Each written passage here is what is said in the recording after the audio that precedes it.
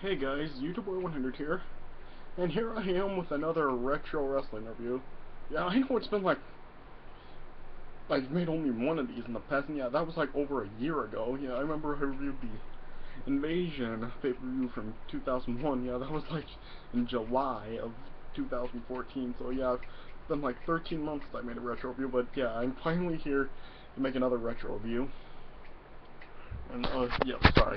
Uh, yeah, sorry, the camera just looked a little blurry, but okay, yeah, I'm sure you can probably like see me better now. Alright. Okay, so yeah, so as you can see by the title, I'm reviewing Judgment Day 2003.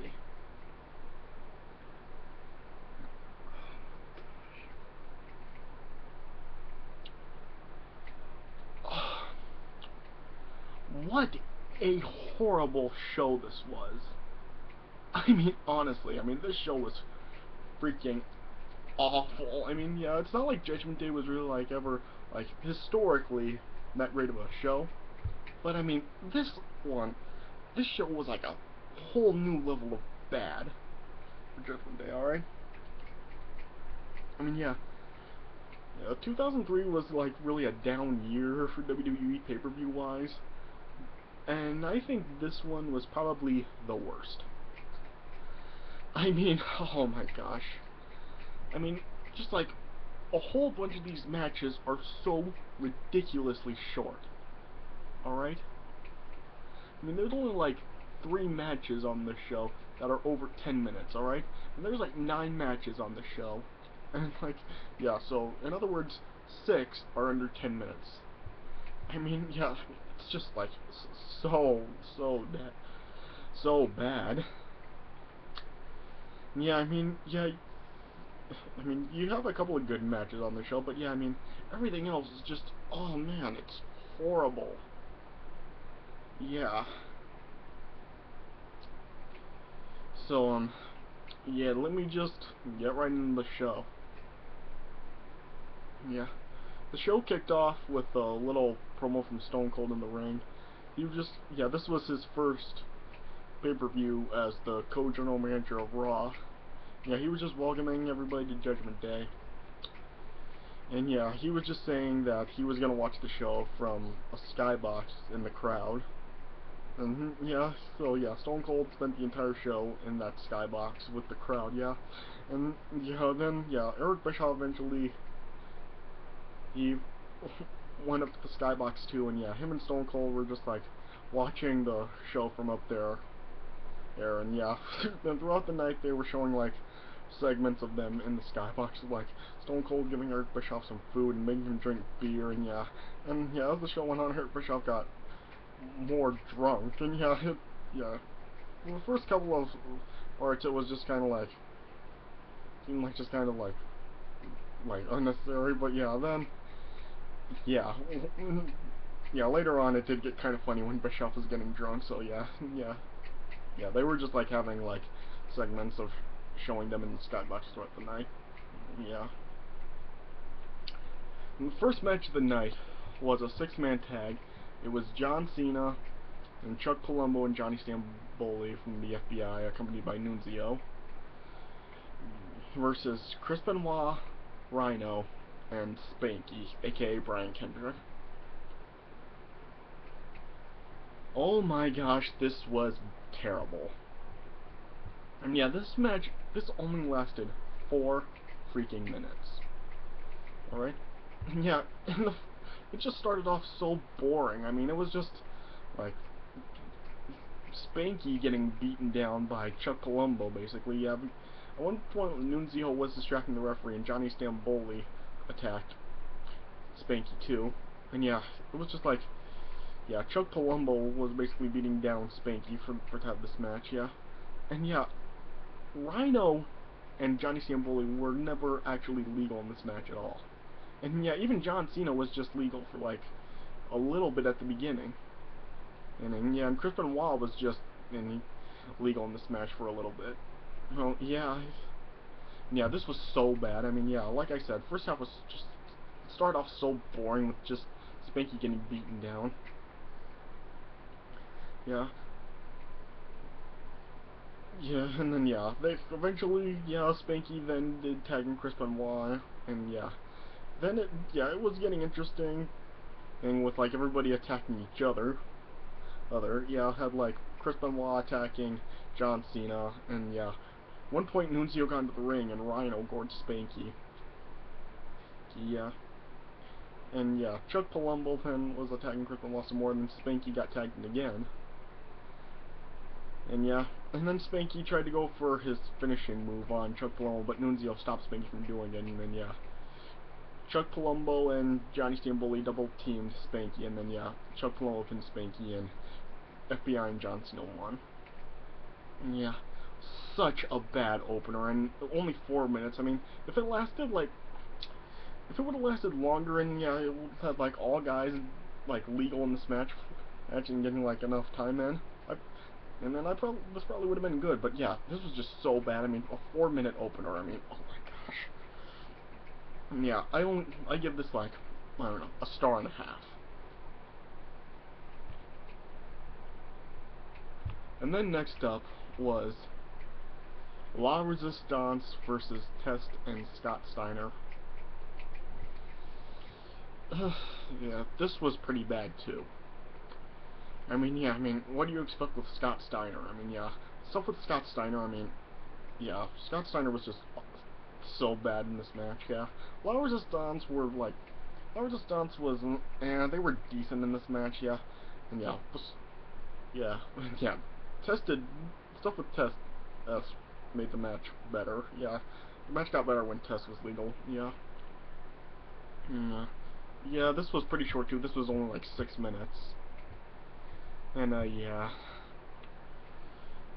Yeah, um, yeah, Scott Steiner was doing his stuff, making making La Resistance like kind of look bad. Yeah, he Scott Steiner was doing terrible.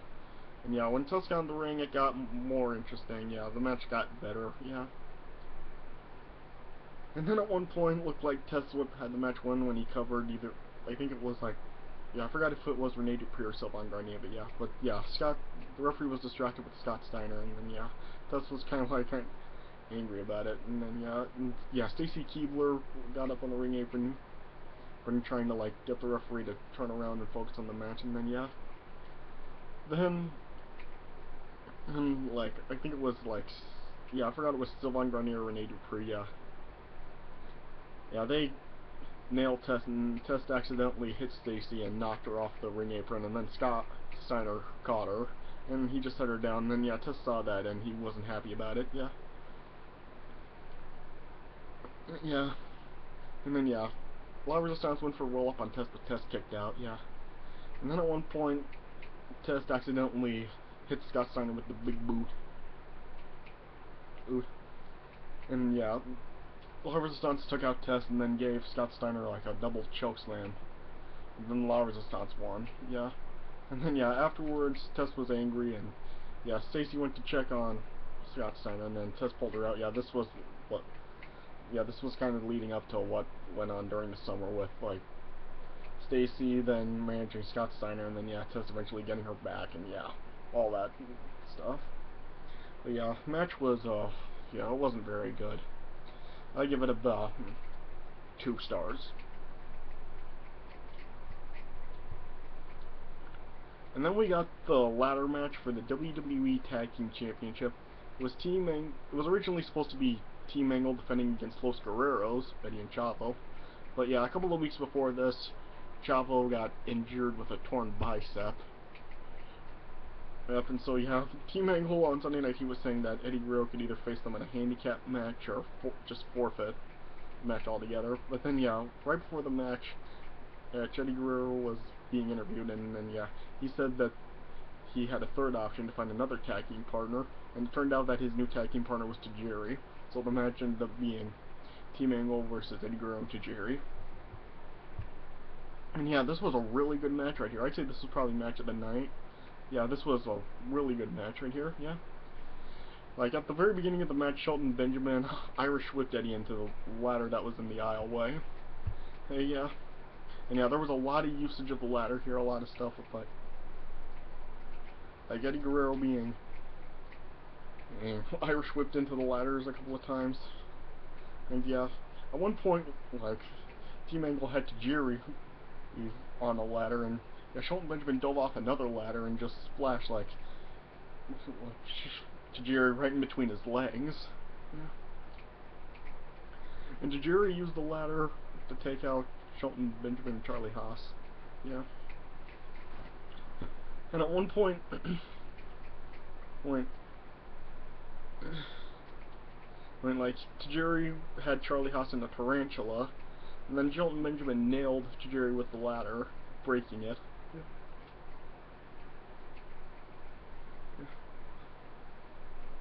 And yeah. yeah, and then yeah, at one point like after Eddie Guerrero got Irish whipped into a ladder, Tajiri like hit one side of the ladder and, the other side nailed Shelton Benjamin with it. Uh,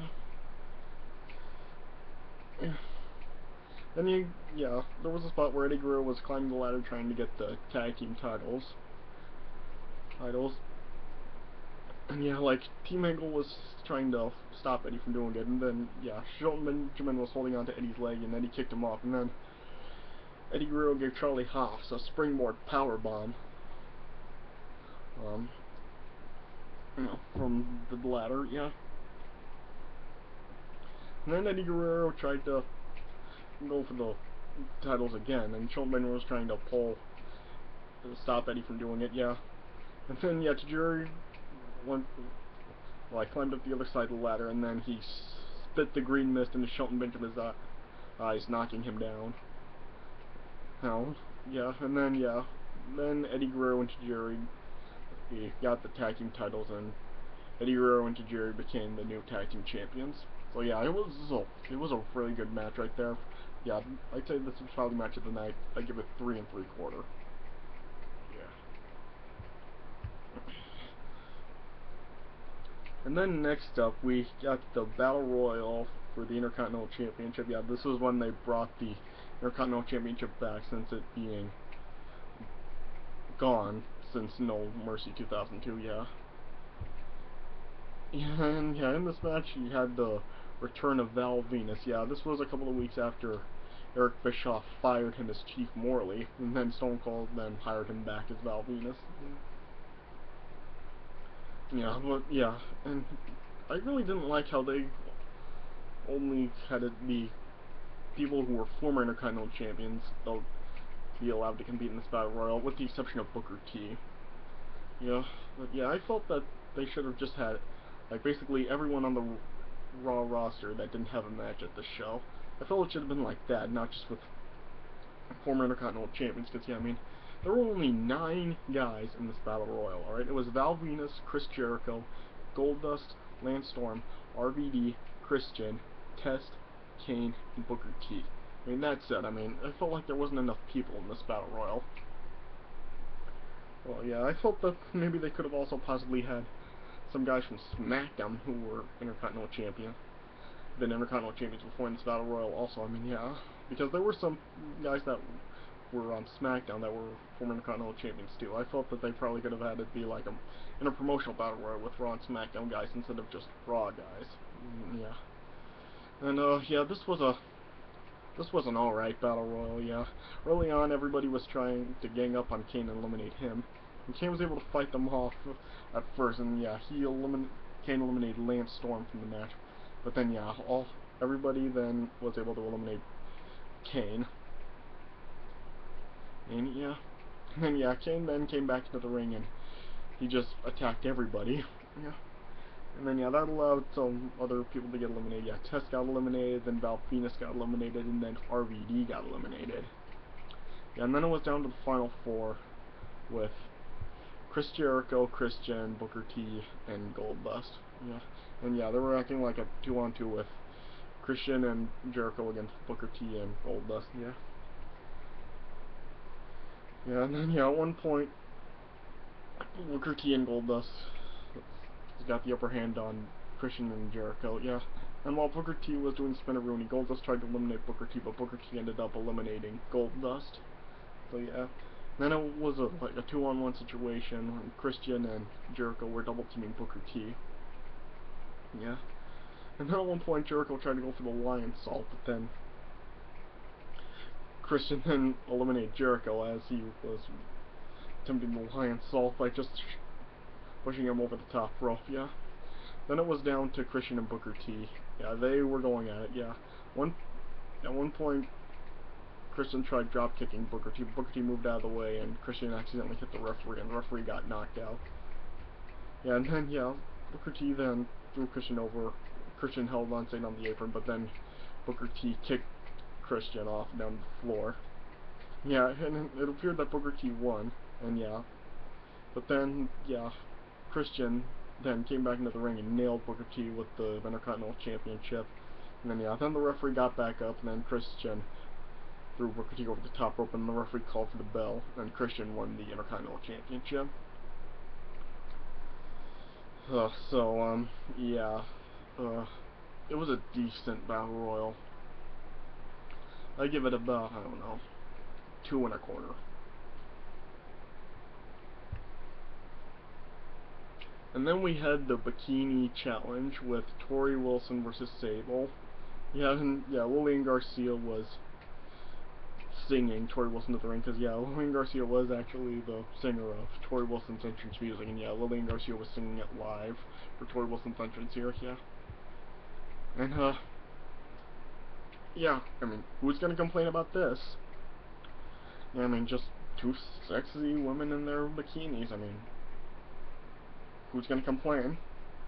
Yeah, I mean, but I would have loved it if JR and King were on commentary for this, because, yeah, it was showing, like, King's face based on how he was reacting to this a few times, yeah. I would have loved to hear what he was saying, yeah. And yeah, it appeared that Sable had it won, yeah. First, Sable, Sable was wearing, like, some really thin bikini attire, and then, yeah, Torrie Wilson was wearing, like, some Playboy Bunny bikini attire. And yeah, but she wasn't exposed as much as Sable was. And so yeah, and then when Taz was asking the fans who they felt should win, yeah, it appeared that it seemed like it was close, but I think the crowd was a little bit louder for Sable.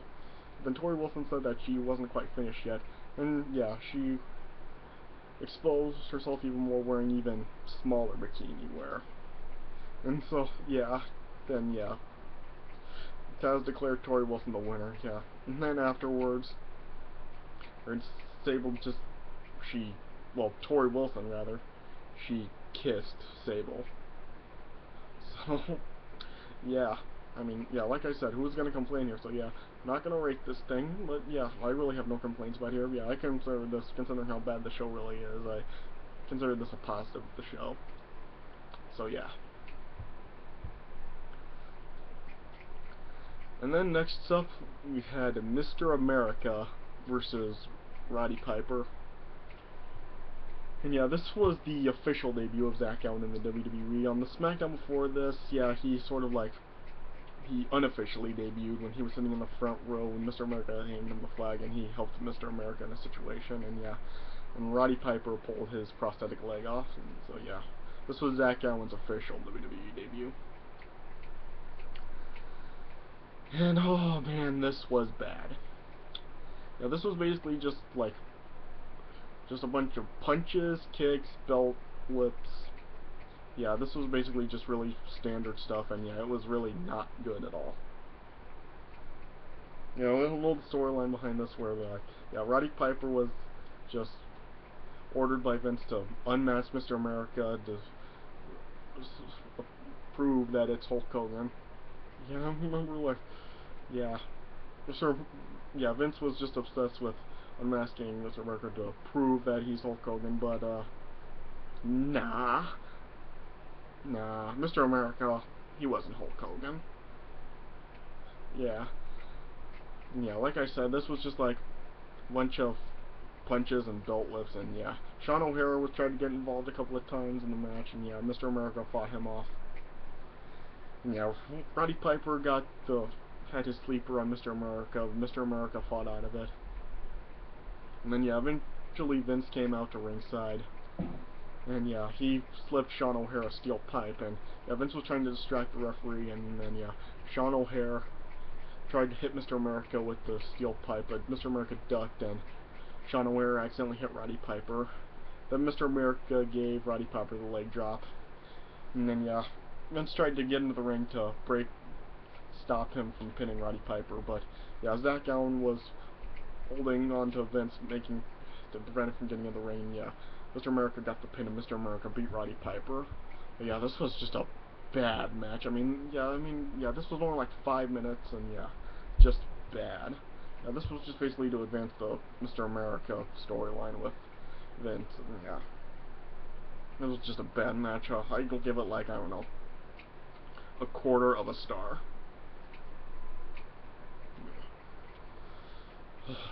And then, next up, had the World Heavyweight Championship match. Triple H defending against Kevin Nash.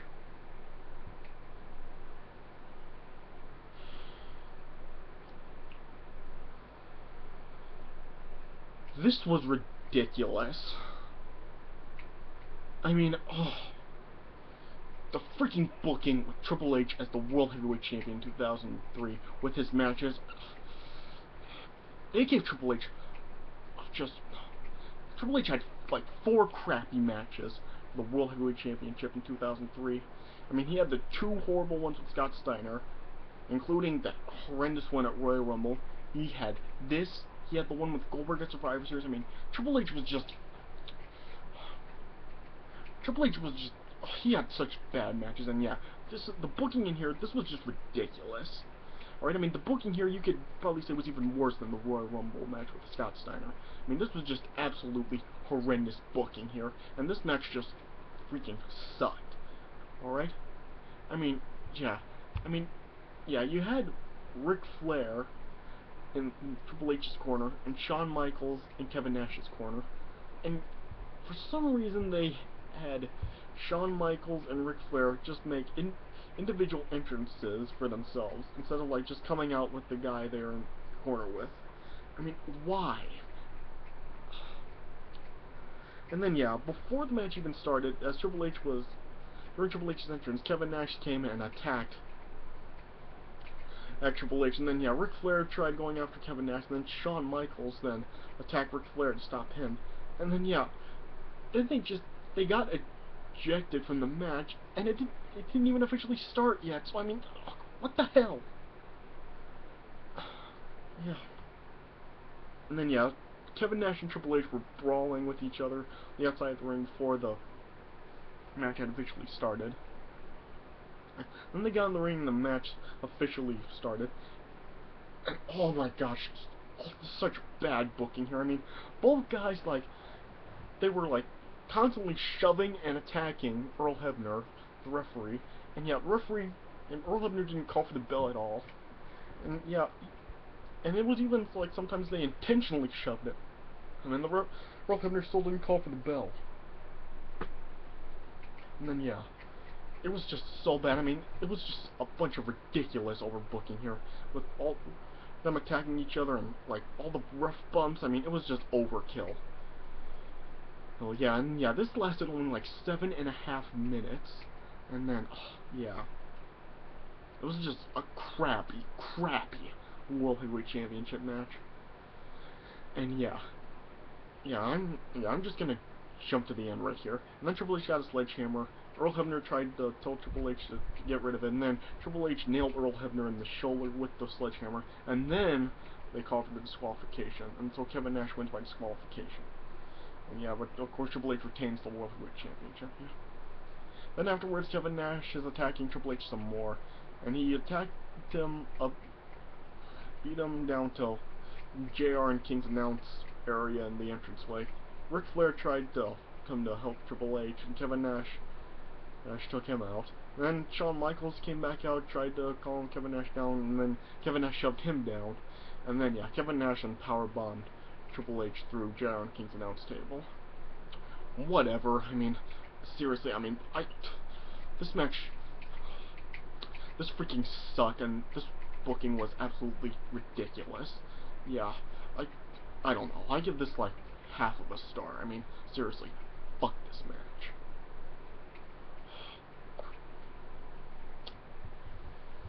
Yeah.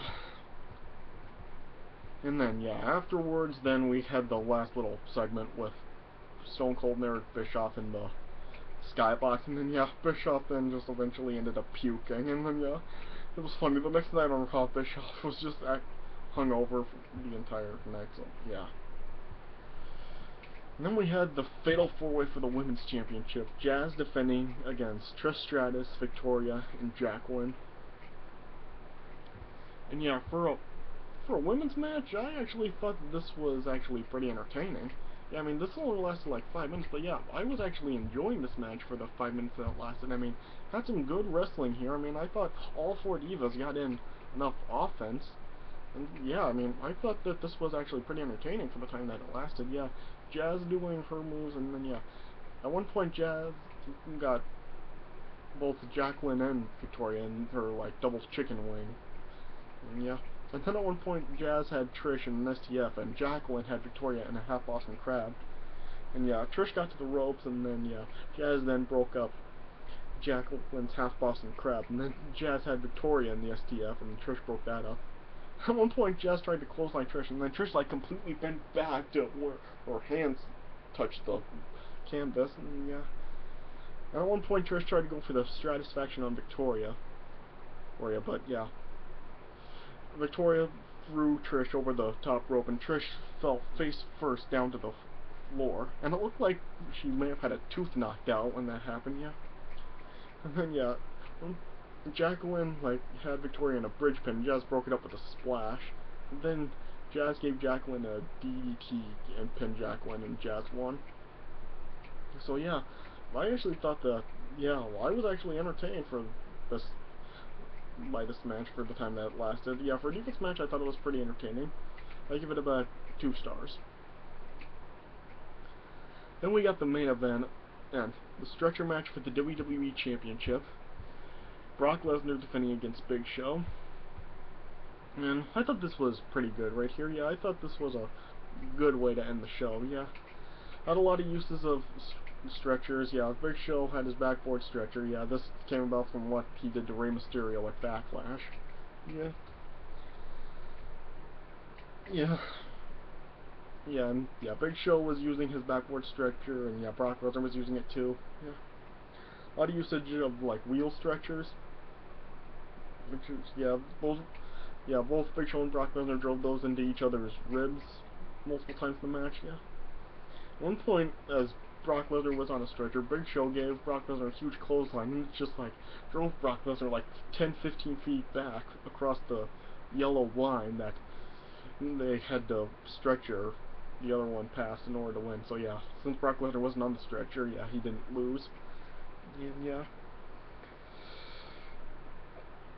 At one point, yeah, Brock Lesnar choked Big Show out with a cable and he tried stretching Big Show past the yellow line, but yeah, the cable didn't extend that far, and yeah, Brock Lesnar tried yanking Big Show, but yeah, Big Show was just pulled off the stretcher, and yeah, saved Big Show the match. Yeah, at one point, point, point like Brock Lesnar drove the stretch one of the stretchers into Big Show's ribs, and then Big Show drove the stretcher into Brock Lesnar's ribs. Then at one point, Big Show drove Brock Lesnar's spine first into the ring post, and at the same time, the back of Brock Lesnar's head hit the ring post, yeah. Then Big Show got another back stretcher backboard from underneath the ring, and he nailed Brock Lesnar with that a couple of times. And yeah, as Big Show was like on the ring apron, Lesnar was in the ring. He ran into Big Show a couple of times, then knocking him off the ring apron. And then Brock Lesnar just walked out of the arena. And then Rey Mysterio's music hit. And then, yeah, Rey Mysterio snuck up from behind Big Show and gave him a 619. But then Big Show took Rey Mysterio out. And then Brock Lesnar came back on a forklift, and then, yeah. Let's kind of compare this to Stone Cold Zamboni in 1998. Now, Brock Lesnar, like, dove off of the forklift and gave Big Show a crossbody, and then, yeah, gave Big Show a suplex and an F5, and then Brock Lesnar placed on the stretcher backboard onto the pallet to the forklift, and then rolled Big Show onto it, and then yeah, Brock Lesnar like rose Big Show higher, and then yeah, he backed up the forklift past the yellow line, and then yeah, Brock Lesnar won the match. Brock Lesnar. obtain the title. So yeah, I thought it was a pretty good match. I give it about three and a half stars. Yeah, overall the show, I give it about like a a 3.5 out of 10. Yeah, I mean yeah, the ladder match and the stretcher match are the like the only good matches on the show. Everything else just completely sucks. So yeah, just stay away from everything else besides ladder match and the stretcher match. So yeah, I mean yeah, this is probably the worst show of 2000, worst pay per view of 2003. So yeah, I recommend that you try to stay away from the show. So yeah, alright. So yeah, that's it for my review of Judgment Day 2003. Well, thanks for watching, and I'll see you guys later.